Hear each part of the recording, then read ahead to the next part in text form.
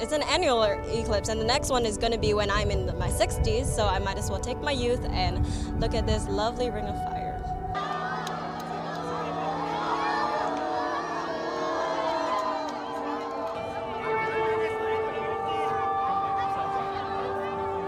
You know, it's only two minutes, but it's so intense that you talk about it with your friends and family for the next months.